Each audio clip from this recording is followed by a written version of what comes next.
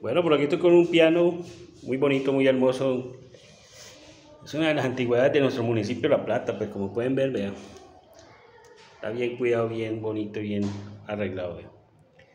Eh, afortunadamente, pues este, este piano lo tocaba don Augusto Cuella. Yo, yo me acuerdo que lo veía tocar ahí en donde ahora echan los sermones, lo ponían ahí y don Augusto lo tocaba.